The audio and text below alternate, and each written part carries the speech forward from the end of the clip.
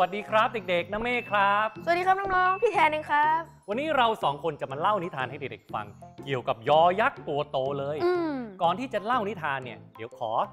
ทดสอบนะครับ ความรู้รอบตัวกับยอยักษ์กันหน่อยดีกว่านะครับ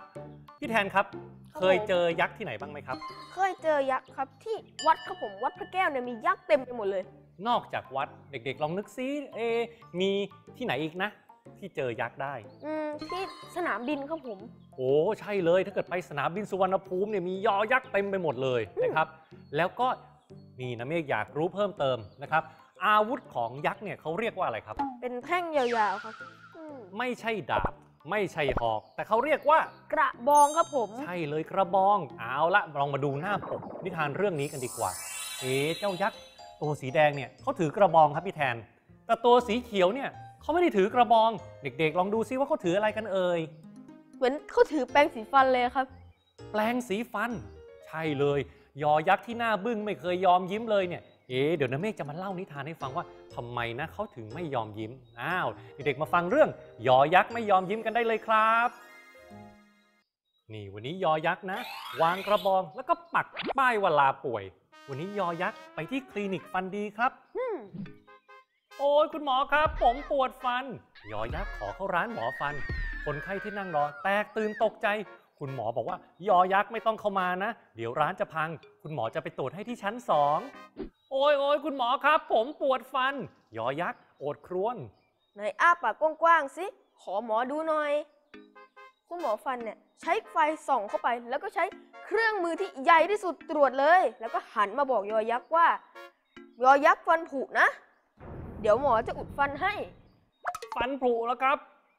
เป็นไปได้ยังไงครับ ผมอยากรู้จังเลย ได้เลย หลับตาอ้าปากกว้างๆ แล้วหมอจะเล่านิทานให้ฟังคุณหมอฟันบอก กาละครั้งหนึ่งมีพื้นดินเป็นสีแดงอมชมพู ไม่เคยมีต้นไม้ชนิดใดปลูกขึ้นมาได้เลย ยกเว้นต้นไม้ที่มีชื่อว่า ต้นฟอฟัน ต้นไม้ชนิดนี้เจ้าของต้องดูแลดีๆ ไม่อย่างนั้นจะมีแมลงตัวร้ายมาแอบกัดกินฟันจนเป็นรู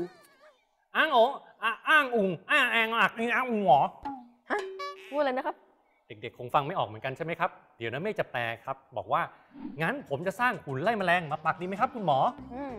ยอยักษ์ออกความเห็นขณะที่กำลังทำฟันอยู่ ไม่ได้หรอก คุณหมอฟันปฏิเสธ อ้างโอ้เอาเอาเอาไอ้อ้างว่าเองเอง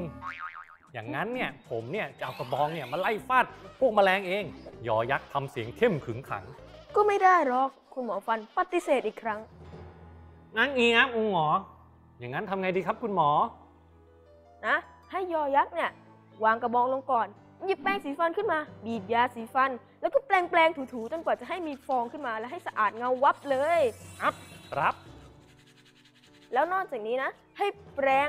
ที่ดินสีแดงอมชมพูด้วยจักระจีจักระจีแบบนี้เลยครับผมครับผม ถ้าเราแปรงจนต้นฟอฟันสะอาดเงาวับ แสงเนี่ยจะสะท้อนเข้าตาพวกแมลง แล้วมันจะไม่กล้าเข้าใกล้เลย แต่ถ้าเราทิ้งไว้ แปรงต้นฟอฟันไม่สม่ำเสมอเนี่ย พวกแมลงเนี่ยก็จะกลับมาอีก คุณหมอฟันเตือน ครับยอยักษ์รับปาก แล้วยอยักษ์อยากให้ต้นฟอฟันแข็งแรงขึ้นอีกไหม คุณหมอฟันถาม อากอัพอยากครับ ยอยักษ์ตอบ เราต้องใส่ปุ๋ยให้ต้นฟอฟันด้วยนะ เด็กๆทราบไหมครับว่าปุ๋ยของต้นฟอร์ฟันคืออะไร ปุ๋ยของต้นฟอฟันเนี่ยก็คือนมนั่นเอง เราต้องดื่มนมทุกวันเลย แต่ก็อย่าลืมแปรง และจักระจีต้นฟอฟันอย่างน้อยวันละสองครั้งเช้าเย็นนะ เอาละอุดฟันเสร็จแล้ว เป็นยังไงบ้างคุณหมอฟันกำลังเก็บเครื่องมือ ไม่เจ็บแล้วครับ ขอบคุณคุณหมอมากเลยครับยอยักษ์ยิ้มออก ดีแล้วล่ะ ก็อย่าลืมดูแลต้นฟอฟันดีๆนะ คุณหมอฟันบอกก่อนลา ครับยอยักษ์สัญญาแล้วก็เดินออกจากร้านหมอฟันกลับไปทำงานต่อ วันหลังถ้าใครได้เจอยอยักษ์ไม่ยอมยิ้ม ฝากถามยอยักษ์ด้วยว่า วันนี้ยอยักษ์จะกระจีต้นฟอฟันแล้วหรือยัง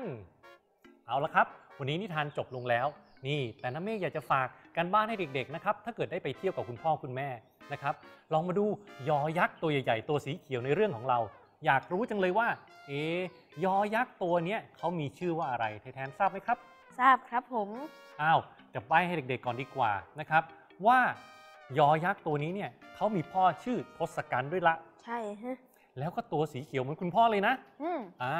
เด็กๆทราบไหมเอ่ยนะ ตัวนี้เขาชื่อว่า อินทรชิตครับผมชื่อว่ายักษ์ชื่อว่าอินทรชิตแต่เดิมเนี่ยชื่อว่ารณพักษ์นะ แต่มีฤทธิ์มากและรบเก่งมากเลย เอาชนะพระอินทร์ได้ เลยเปลี่ยนชื่อเป็นอินทรชิตนั่นเองนะครับวันนี้น้าเมฆอยากจะฝากท่านเด็กๆนะครับถ้าเกิดสมมติไปที่วัดพระแก้วแล้วเนี่ยลองไปดูยอยักษ์นะเอ๊ะตัวไหนตัวสีเขียว แล้วเขาจะมีชื่ออยู่ด้านล่าง ชื่อว่าอินทรชิต ดูซิว่าจะหาเจอหรือเปล่าสำหรับนิทานวันนี้จบลงแล้ว แต่เดี๋ยวพี่แทนจะมีคำศัพท์มาสอนน้องๆด้วยละ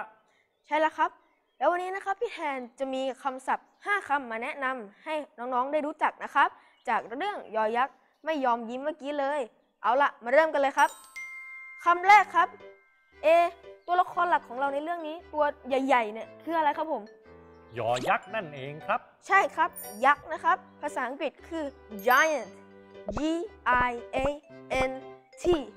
giant ครับผม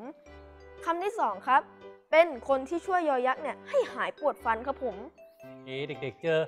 อาชีพนี้หรือยังนะ คุณหมอฟันนั่นเองครับ ใช่แล้วครับ หมอฟันภาษาอังกฤษก็คือ dentist D E N T I S T dentist คำต่อไปนะครับคือนี่เลยในปากของเราเลยครับผม ฟันครับผม ใช่ครับ ฟันนะครับ ภาษาอังกฤษก็คือ tooth T O O T H tooth แต่ถ้ามีจำนวนมาก ๆ เลยนะครับ เราจะเรียกว่า teeth ก็คือ T E E T H ก็คือ teeth ครับผมคำที่สี่ครับผม คืออะไรนะ ที่เราใช้จักรจีจักรจีต้นฟอฟันของเรา แปรงสีฟันครับ ใช่แล้วครับ แปรงสีฟันนะครับก็คือ toothbrush หรือว่า T O O T H B R U S H toothbrush และคำสุดท้ายครับ อะไรนะครับที่เป็นปุ๋ยของต้นฟอฟัน อู้นมครับ ใช่ครับ นมภาษาอังกฤษก็คือ milk M I L K milk นั่นเองครับผม นี่นะครับก็คือคำศัพท์จากเรื่องยอยักษ์ไม่ยอมยิ้มในวันนี้นะครับ giant G I A N T giant ยักษ์ dentist D E N T I S T dentist หมอฟัน tooth T O O T H tooth ฟันหนึ่งซี่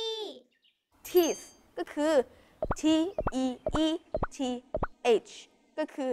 teeth ครับผม ฟันหลายซี่ toothbrush หรือว่า T O O T H B R U S H toothbrush แปรงสีฟัน milk M I L K milk นม สำหรับวันนี้น้าเมฆและพี่แทนครับ ขอลาไปก่อนนะครับ สวัสดีครับ บ๊ายบาย